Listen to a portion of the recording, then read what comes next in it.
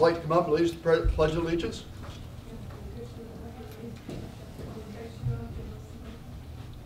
Nothing, I put the pressure on him. Yeah, right on. Here- Here's your flag, so.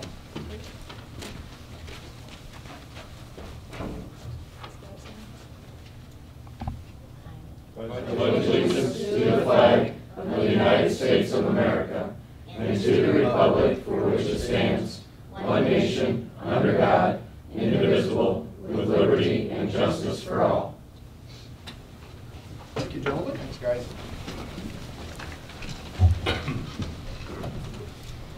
Moment of silence.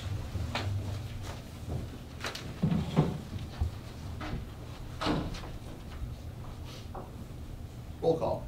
Councillor Crum, present. Councillor Matthews. Present. Councillor Coast. Here. Councillor Chamberlain. Here.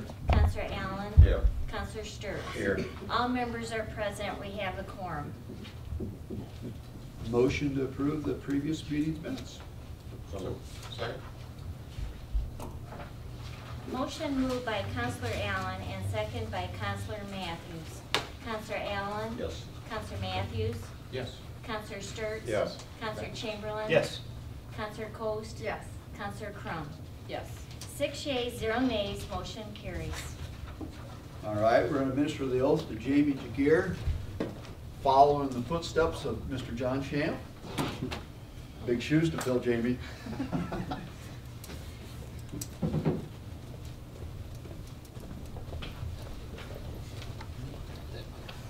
Raise your right hand. I I, Jamie Jagir, solemnly swear that I will support the Constitution of the United States, solemnly swear that I will support the Constitution of the United States, the Constitution of the State of Ohio, the Constitution of the State of Ohio, and the Charter of the City of Wauseon, and the Charter of the City of Wauseon, and that I will faithfully, honestly, and impartially discharge and I will faithfully, honestly, Impartially partially Discharge. discharge The duties of office of Director of Finance the duties of the Office of Director of Finance for the city of Wauseon, state of Ohio, for the City of Wauseon, State of Ohio, during my continuance in said office. during my continuance in said office. Congratulations. Thank you. Everyone, shake everybody's hand here now. You're not getting out that easy. Congratulations. Thank. Congrats. Thank you. You're welcome. Thank you. Thank you. Thank you. Congratulations. Thank you. Is there anybody in the audience who'd like to come up and speak? I would. Okay, your name? My name is Tara Rogers, and I'm here just to speak because it was brought to my attention uh, a week and a half ago that there was a complaint lodged against the Imagination Kingdom with the musical instruments and the noise that it creates. And I was under the understanding that they were trying to represent our neighborhood as a whole. So as a neighbor of the park, I felt it was fair that the rest of the neighborhood have their voice heard. I took it upon myself to go to all my neighbors that I could that were home at the time within the last couple of days to speak with them and just see their opinion and if it is causing any problems or anything of the such. And for the most majority, there was only one neighbor that was opposed to the instruments and felt that they were disturbing. The rest of the neighbors, which I have close to 40 signatures of neighbors in our neighborhood, that were happy with the instruments being there. They felt that they were an asset to the community. We're really happy with the park being there. They aren't finding the, the noise that they're creating disturbing. Half of them don't even hear it. Um, I'm in close proximity of the park and they're not noticeable. Um, I just felt that it was only fair that, that we have our voice heard as well. And I did have a petition, which I had the neighbors sign as well as some other people that I came across in the community at the time, you know, that I had seen. And I guess what I'm asking council to consider is, one, not to remove the instrument. They're a big asset to the park. They serve, they were there in the original plans for the park. It's not a surprise. I mean, obviously, they were installed a little bit late, but that was due to the concrete being installed. Um, they're great for kids that are handicapped. Um, they're wheelchair accessible. Um, there's a lot of kids with disabilities that find these components of the playground you know, interaction. It's something for them where other kids, maybe they could go up to the towers and slide down the slides and these kids aren't. So it's, it's kind of making it so that everybody can play and enjoy the park. Sure. Um, so that's what I'm first asking council not to remove the instruments.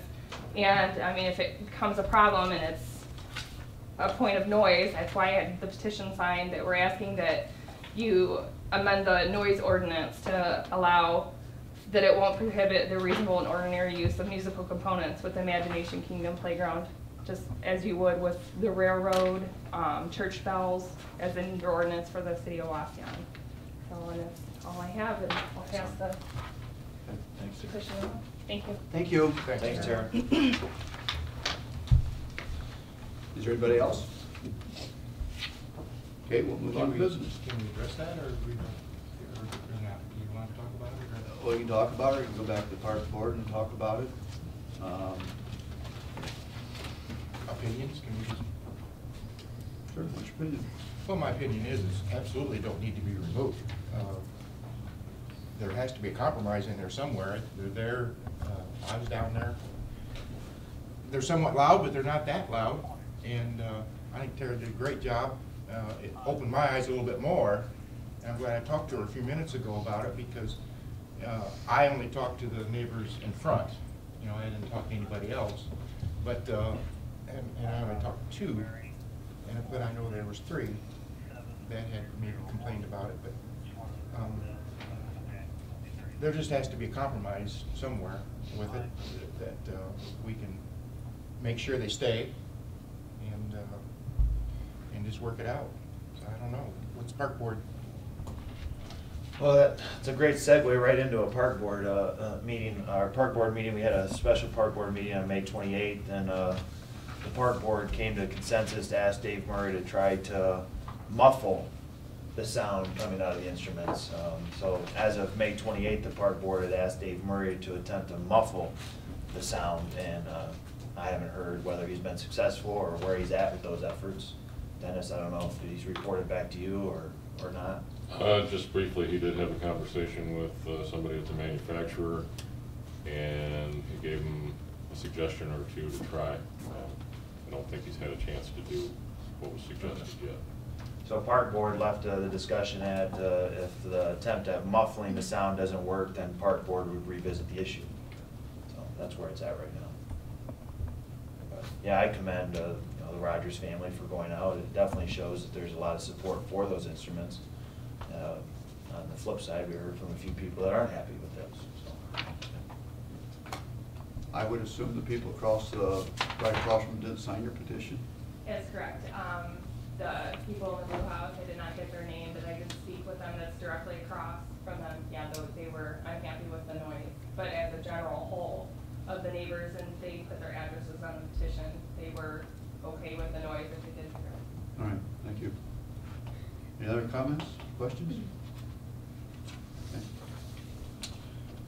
On to business, committee reports. Well, Shane, you're Yeah. up again. Uh, Park The board. the only other thing that we have to address out of Park Board is uh, uh, Counselor Coast and I continue to work on a policy to sort of, I don't know, formalize how we respond to requests for reduction in shelter house use, so that's all. Other than that, it was Imagination Kingdom stuff. All right. Tree commission? Well, the tree, tree commission met on May 9th and had a nice long meeting. and I have an awful lot of uh, minutes here. If you don't mind, I'll uh, shorten it up a little bit. Anybody have any objection to that? There you go. It's not gonna be that short. Trees are growing? The trees are growing. Uh, all the brochures have been delivered for the Memorial Tree Program to the funeral homes, uh, something that we do every year. Tom Savage reported that forty-eight trees have been replaced. There's some dead trees in the boulevard yet. We still have ninety ash trees that are, seem to be okay. We'll Keep our eye on them. Uh, all the trees have been planted at Homecoming Park that had uh, died last year. Uh, They need to be mulched and staked. I don't know if we got that done yet, Dennis, or not. Probably not. And there's apparently two dead trees out to Biddle Park that uh, they'll be addressing and taking care of. We received a a street sign for our Tree City USA, which is our twentieth year this year for Tree City USA here in Wauseon. Uh, the flower plants downtown, if you noticed, have been, uh, planted and, and, uh, look really nice. We're, uh, short one bush in that southwest corner down there where tree commission built that three, four years ago down by the railroad track and, and uh, one bush died, so uh, from what I understand, there is an individual that uh, will replace that for free.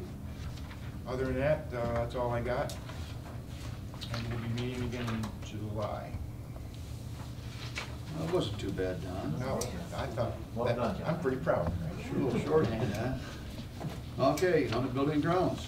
Building Grounds met on uh, Thursday, May 30th, with all the members present, along with uh, Chief Torbett and Sergeant Gonzalez from the State Patrol Post. It was in reference to, the State Patrol would like to have a, a place in our Wauseon PD to come back, do accident reports, and any other time that maybe something comes up, instead of the citizen driving from Wauseon or driving to the post down across by the airport, uh, they can just come here and make an appointment with the patrolman. Uh, They're, only need a desk maybe hour and two hours at the most while they're here. It's not like they're gonna be stationed here or anything like that. And then they wanna put a sign out front. And all the members of uh, Building and Grounds were in agreement with that. Alrighty. Motion to approve the recommendation? So moved. Second. Motion made by Counselor Matthews and second by Counselor Sturts. Is there any discussion? Chief Torber, we're okay with this, right? You're- Yes. You're, okay. Right. That's definitely uh, good for us as well as for them. We have approximately five troopers at this, that live within the area of Wauseon. And instead of them driving twenty-five miles down to the post, twenty-five miles back, they can stop in here, do their reports, get them down, and be back on the road. Counselor Matthews? Yes. Counselor Sturts? Yes. Counselor Allen? Yes. Counselor Chamberlain? Yes. Counselor Coast? Yes. Counselor Crum? Yes. Six yeas, zero nays, motion carries. We'll move on to the department head reports. Uh, David, you're first on the agenda. I'm continuing to work with Glenn Grisdale with Reveille as it concerns the downtown revitalization uh, project for uh, the community development block grant. Um, We're just working to get uh, the application, all the documentation for the application, so Wauseon can have as much leverage for that application approval as possible. Um, We're on task uh, for that application to be submitted to the state by the state's deadline on June twenty-first. So, Thank you. Chief? Uh, Safety City started up today. We have sixty-five kids enrolled in the two sessions. Uh, Still have a few openings for the second section, which starts on the seventeenth, if anybody's interested. We have applications down at our office. We're still a little bit short on the funding, about fifteen hundred dollars, so if anybody has any fifteen hundred dollars extra they don't know what to do with, Safety City will take it off your hands. Tree. From the tree commission, you Yeah, said? tree commission. We'll take it out of our budget, you know, we have a big budget. Uh, Our Youth Police Academy also started this week. We have sixteen kids registered and all sixteen showed up. Uh, They will be going th- all through this week with graduation ceremonies Friday morning. Uh, We still have a few openings left for our self-defense class, which is this Thursday. We have twenty-two registered as of right now, and we top out at thirty. So Anybody that's interested, you contact our office or uh, to get more information or register. So during the youth police academy, do they spend a night in detention at all, just to get a feel for what it's like? Just the one, just the scouts that are involved. Just the scouts? And can parents extend that stay if they requested that? No. Not a babysitting service. Just thinking ahead. None? That's it. Thank you. Tom? Well, at the- last meeting, we referenced that we were gonna start doing our grass letters, and we've sent out several. So far, we've spent a little over three hundred dollars on mowing.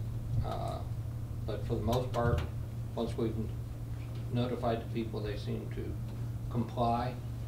I'm sure the chief can tell you how many have blown that grass in the street, and they had to stop by and notice them, so. All I'm asking is that, you know, you mow the grass and remember not to blow it out in the street, gets in the storm sewers, causes public works more work, and blocks up our storms, and you know, we're going along. Um, Moving Ohio Forward, uh, application for payment was submitted. I submitted uh, the documents that I was doing for the grant for downtown, so I think we're moving forward. And if you notice, there's construction out on Shoop Avenue. It's the- gonna be the new subway. Uh, The contractor said subway wants to be open by the end of August, so they're, gotta move fast. Um, Tom, uh, the list of uh, repair sidewalks, you know, the sidewalks that need repair, you have a list, right? I, I- it's not complete, but I have the main, the first one's over on Cherry, there's a lot on East Chestnut Street that we didn't get to last year, some closer to downtown here, and then a couple were pointed out on, uh, uh, past the church and the library, so. So if people have concerns. Yeah, if bring they have to you. concerns, just, uh, I mean, I About have sidewalks. had, uh, four or five people call me up and ask me about their sidewalk, so. All right. Yeah, that's all they need to do is call the office, three three five five oh four one, Okay. and we'll come out and take a look at them. All right, thank you. So, That's it. Dennis? Uh, I've been working on the Linfoot Street project. Uh, Got a new set of updated plans that Dave Murray and I have been wading through and are being submitted to ODOT. Um, We aren't too far off from having a, um, the affected property owners invited into a meeting uh, to look it over. That should be happening hopefully soon. Um, other than that, I am, we, we sent five individuals, five employees down to Columbus to take state exams for water or wastewater related uh, licenses. Of those five, uh, three individuals were successful in, in passing their tests. Um, Vincent Bedsole and Sonny Crawford uh, both obtained a class one wastewater treatment license. And uh, William Reckner, Skeet Reckner, our mechanic, uh, was successful in obtaining a water distribution class two uh, certificate. Uh, So three out of five guys, we actually did better than the state average. The, the state passing rate for any of their wastewater and water um, license tests usually runs between forty and fifty percent, so we did okay. So congratulations to those individuals. Uh, Vinnie and Sonny, you will remember, uh, were part of our uh, brand-new program to try to uh, cross-train those two individuals. They are still public works employees, but they've been spending time at the wastewater treatment plant in anticipation of jobs becoming available there uh, due to attrition. So that's working out. Thank you. Jamie? Um, There's nothing new. The income tax revenue is still growing compared to prior year. um, And we're still within our budget. So, that's all. Okay. Well, Tom, you feel lucky. Last week I forgot Jan. I had to come back to him. You can move right on then. Forgive me, now we're like the bass drum and the orchestra, you know, nobody wants to hear the law department unless there's something bad going on, but uh, in any event, uh, working on a number of projects for each of the departments. um, uh, Working with David and trying to make sure that uh, certain grant monies are uh, appropriated for a particular piece of real estate that the um, city took possession of, the address of which will not be named. Um, Working uh, with Dennis on uh, some easements to try to get those taken care of on Glenwood, uh, Glenwood, I want to say the Glenwood Street project. the- Airport Highway. The Airport Highway project. And then um, Tom and I are working uh, with Glenn also, uh, Grisdale, I always want to say Griswold. Know, Uh, With respect to the Pride Preservation uh, Code uh, amendments that we need to get taken care of for grant purposes. And uh, I think we'll probably have something that will be ready for the um, uh, council's uh, building or safety and code committee, I guess, for review at some point later this week, so. That's, right. that's enough? Enough That's fine. beating on the bass drum for a while? Fine. Very brief. I have a question. Thank you, Shane. Yeah, I have a fire department question, you know? Yes. Fred, how'd the uh, fundraiser go the other night? Did- Was it successful, you think? Not as successful as it would have been, you know, I mean, we realized afterwards that there was apparently a lot of graduations going on around the community yet. Uh, For those from council that did show up, appreciate it very much. Um, But we laid a lot more money. So if anybody out there's got money wants to give out, we'll take it. That was mine. I know.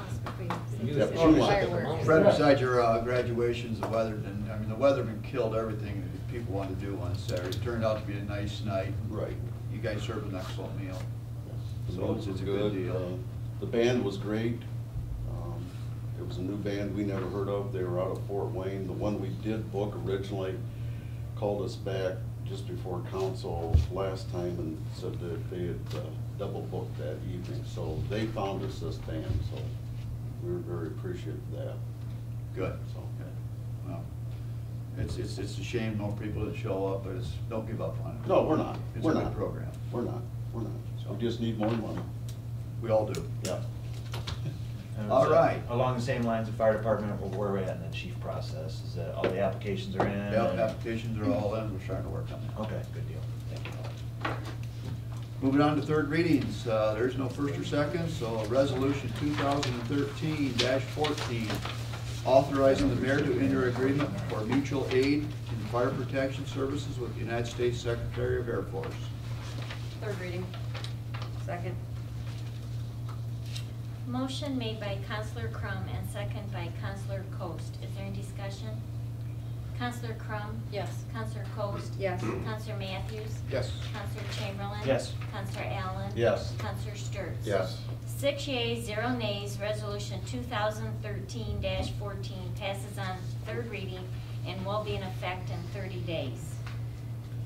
Resolution two thousand thirteen fifteen, authorizing the fire chief or his designee to provide fire protection and emergency services upon request to other political subdivisions in the state of Ohio. Third reading. Second? Motion made by Counselor Sturts and second by Counselor Matthews. Is there any discussion? Counselor Sturts? Yes. Counselor Matthews? Yes. Counselor Crum? Yes. Counselor Coast? Yes. Counselor Chamberlain? Yes. Counselor Allen? Yes. Six yeas, zero nays, resolution 2013-15 passes on third reading and will be in effect in thirty days. There's nothing on the new business. Anybody have any comments, questions? Okay. Uh, motion to approve the bills as presented. So moved. Second. Motion made by Counselor Coast and second by Counselor Sturts. Counselor Coast? Yes. Counselor Sturts? Yes. Counselor Allen? Yes. Counselor Chamberlain? Yes. Counselor Matthews? Yes. Counselor Crum? Yes. Six yeas, zero nays, motion carries. And we'd like to go into executive session now for the purchase, possible purchase of real estate. Need a motion there. So moved. Second. Motion made by Counselor Allen and second by Counselor Sturts. Counselor Allen? Yes. Counselor Sturts? Yes. Counselor Chamberlain? Yes. Counselor Coast? Yes. Counselor Matthews? Yes. Counselor Crum? Yes. Six yeas, zero nays, motion carries. There will be decisions made afterwards, so. No action.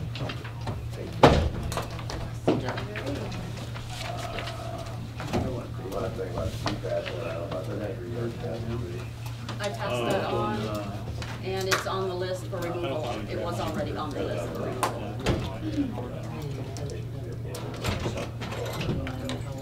What's that? No, it's.